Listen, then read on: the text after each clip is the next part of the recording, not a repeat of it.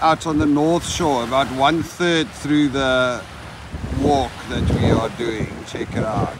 Terry Fox Run at uh, Stanley Park in Vancouver. Absolutely beautiful day for it. Not that we're running, we're just taking a nice stroll. Beautiful out here.